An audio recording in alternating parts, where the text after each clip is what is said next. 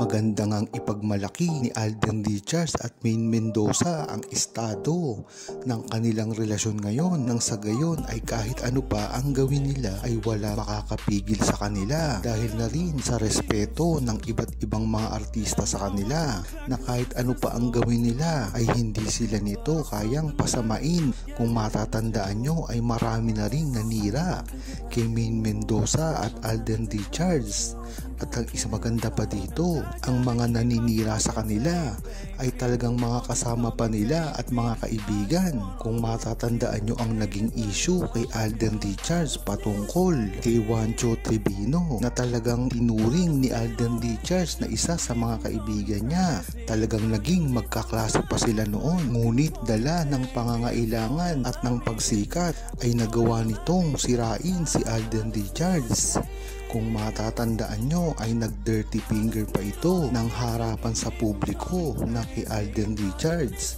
At dahil sa napakabait naman ni Alden Richards ay pinatawad niya ito. At kung matatandaan nyo rin talagang nagamit pa si Min Mendoza ng isang lalaking ito na gumawa ng napakalaking ingay at talagang sinisi si Alden Richards dito. Ngunit ang mabait talaga ay ang nagtatagumpay kaya hindi pinabayaan ng madlang people si Alden Richards na masira dahil sa mga ganong pangyayari.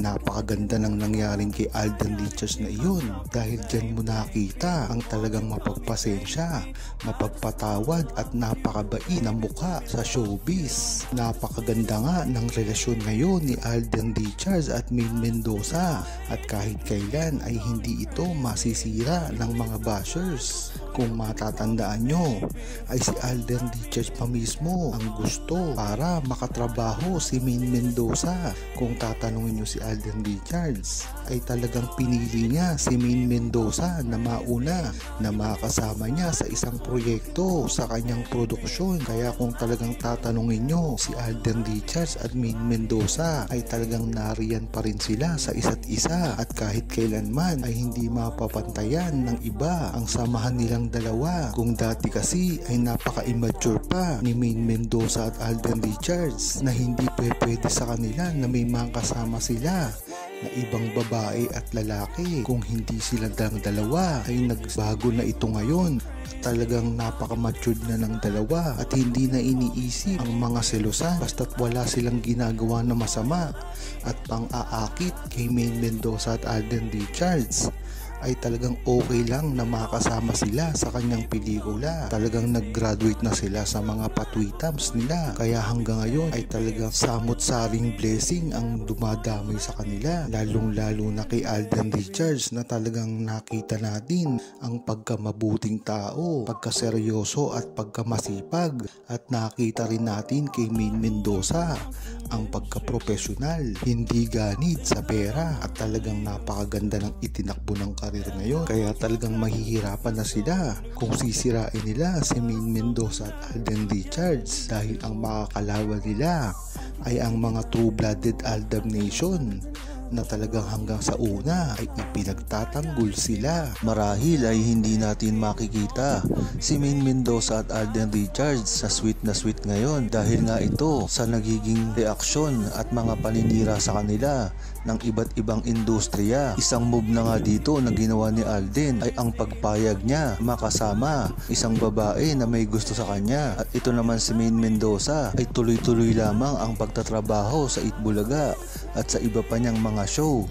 Ngunit bakit hindi na nga natin papansin ang pag-uusap o pagsasama ng dalawa dahil dito ay itinatago na at maingat na sina Maine Mendoza at Alden Richards pagdating sa kanilang relasyon. Tama nga rin na itong ginagawa nilang ito nang sa gayon ay hindi na kumalat pa o mapasama ang kani-kanilang partido kagaya ng mga pamilya nila. Ngunit alam naman ng buong Aldab Nation ang totoong katayuan nila kaya hindi ito dapat manghinayang o magsisi o magalit kay Maine Mendoza at Alden Richards dahil alam naman natin ang tunay nilang nararamdaman sa isa't isa dahil sa mga naaapektuhang Aldab Nation at ito ay bumigay na. Hindi kasi talaga matatag ang paniniwala nila kay Main Mendoza at Alden Richards na sila na mismo ang nagsabi nito dati pa na kung ano ang nakikita nyo ayun kami at ang pahayag naman ni Main Mendoza na laging nasa puso niya si Alden Richards kahit ano pang mangyari. Siguro ang mga bumitaw na ADN ay ay mga mahihina lamang, hindi naniniwala kay Main Mendoza at Alden Richards at panandali ang panlamang.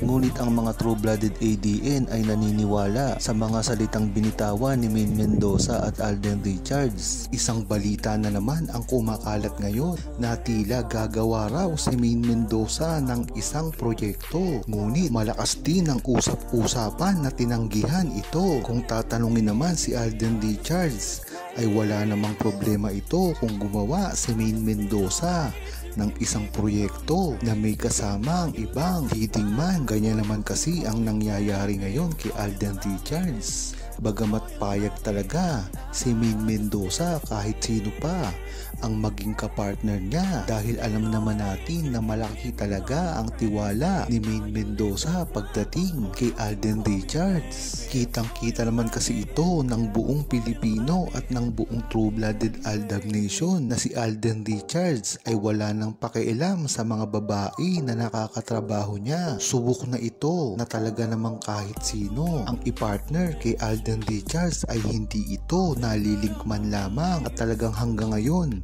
ay nakatuon pa rin ang pansin ng media kay Main Mendoza. Kaya talagang dito mo malalaman ang pagiging faithful ni Alden Richards pagdating sa relasyon nila ni Main Mendoza. Maganda rin naman kasi ito nang sa gayon ay makita talaga ng tunay na Aldab Nation na talagang ang relasyon ni Main Mendoza at Alden Richards ay hindi kailanman masisira pagdating sa mga ganitong usapin kung ang pagbabatayan lang ng paghihiwalay ni Main Mendoza at Alden Richards ay dahil dahil sa mga proyekto at pagkakalink nila sa iba't ibang partner ay nagkakamali sila. Dito mo malalaman ang tatag ng relasyon ni Main Mendoza at Alden Richards na hindi kayang sirain ng ganyang mga balita lang. Ika nga ni Alden Richards kung ano ang makakabuti kay Main Mendoza ay talagang suportado niya ito. Kaya ang napapabalitang paggamit ni Main Mendoza ng kanyang pribihelyo na gumawa ng movie kahit saan pa na network at mga produksyon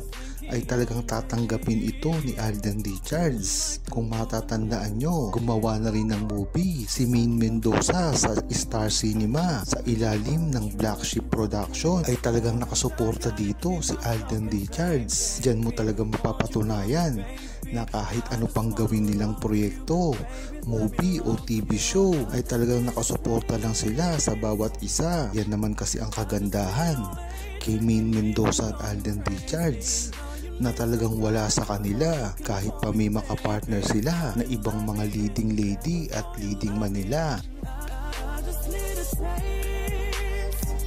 Huwag kalimutang mag-subscribe, comment at ilike ang video na ito. Thanks for watching!